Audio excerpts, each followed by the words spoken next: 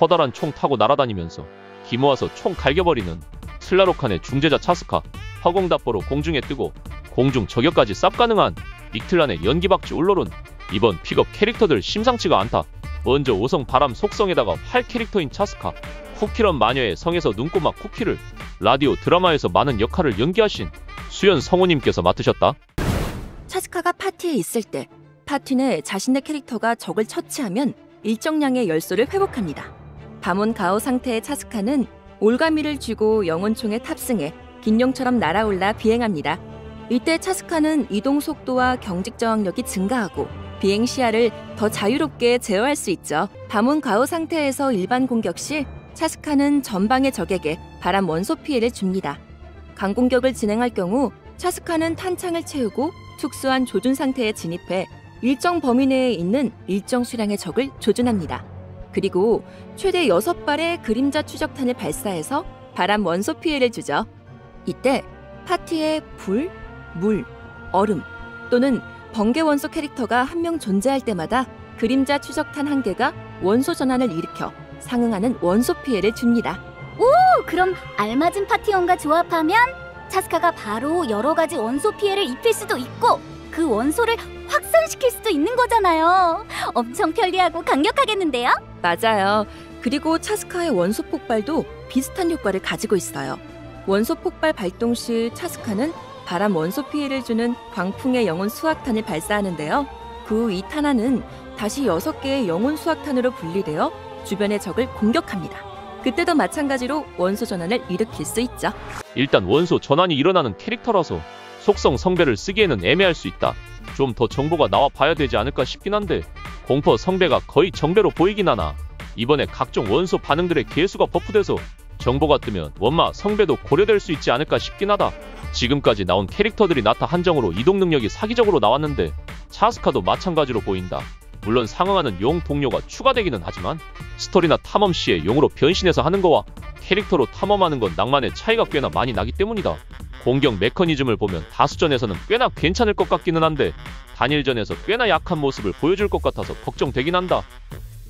다음은 사성 번개 활 캐릭터 올로룬 Reverse 1999의 피클즈를 연기하신 서정익 성우님께서 맡으셨다.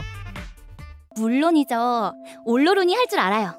올로룬은 명령과 마찬가지로 뛰어난 공중 이동 능력과 예리한 시력을 가지고 있어요. 차지 조준 시 올로룬은 영역 교감 상태에 진입해서 나타의 특수한 그래피티와 문양에 담긴 힘을 추출할 수 있죠. 올로로는 지금까지 봐왔던 나타 캐릭터들과는 조금 달라요. 밤혼을 획득할 때 밤혼 가오 상태에 의존하지도 않고 대기 상태일 때도 밤혼 가오 상태가 유지되는 캐릭터거든요. 올로룬이 밤혼을 획득하는 방식부터 설명해 드릴게요. 특정 상황에서 예를 들면 내 캐릭터가 밤혼 발산을 발동한 경우 또는 올로룬이 원소 전투 스킬을 시전한 후 파티 내 다른 캐릭터가 적에게 물 원소 또는 번개 원소 공격을 명중시킨 경우 올로룬은 일정량의 밤혼을 획득합니다. 오, 그러면 올로룬은 물 번개 캐릭터랑 궁합이 좋겠네요. 맞습니다. 게다가 전투에서 적이 감전 반응 피해를 받거나 파티 내 다른 캐릭터가 밤혼 성질에 피해를 줄 시 올로룬은 획득한 밤혼을 일정량 소모해 밤혼 가오 상태에 진입하고 초감각이라는 효과를 발동해 번개 원소 피해를 줍니다. 오, 저 좀 이해할 것 같아요. 잘 어울리는 파티원과 함께 싸우면 올로루는 밤혼을 더 순조롭게 획득해서 밤혼 가오 상태에 진입하고 효과를 발동해서 피해를 줄 수 있다는 거죠? 아, 빙고. 완벽하게 이해하셨네요. 게다가 이 효과는 올로룬이 대기 상태일 때도 발동할 수 있어요. 올로룬의 원속 폭발도 공격과 지원 능력을 겸비하고 있거든요.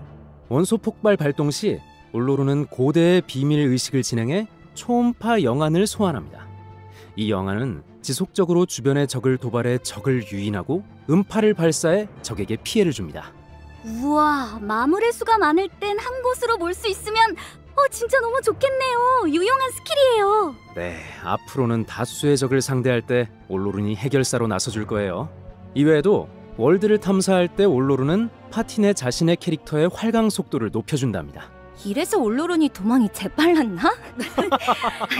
아니 농담이고요. 올로룬은 친구를 소중히 여기는 아이니까 다른 파티원들과 싸울 때 최선을 다해서 승리를 가져다 줄 거예요. 네, 맞아요. 스킬 내용들이 겁나 복잡하긴 한데 나타 캐릭터로 때리거나 올로룬이 스킬 쓴 다음에 감전 반응을 일으키면 올로룬의 밤혼이 차오르고 밤혼으로 때리거나 감전을 일으키면 충전되어 있던 올로룬의 밤혼이 자동으로 사용되면서 번개 원소 피해를 주는 메커니즘이다. 즉 sub dealer다 이 말이야. 느낌을 보면 이번에 나오는 차스카랑도 쓸 수 있을 각이고 무엇보다 5.2부터 과부하 초전도 감전 쇠빙들의 피해가 증가하다 보니 감전 서브딜러로 사용하기에도 괜찮지 않을까 싶긴 하다. 차스카가 옆으로 날아다니는 느낌이면 올로르는 수직으로 점프하듯이 날아오르는데 열쇠를 사용해서 키니치처럼 한번 더 뛰어오를 수 있으면 이동 측면에서도 꽤나 괜찮지 않을까 싶다. 정리하자면 일단 차스카의 경우에는 방랑자라는 선례가 있었기 때문에 데미지에 대해 불안감이 있을 수 있는데 그건 출시되어봐야 알 것 같고 제일 큰 문제는 나타 탐험에서 이 친구를 안 뽑으면 굉장히 꼬울 수 있다는 점이다.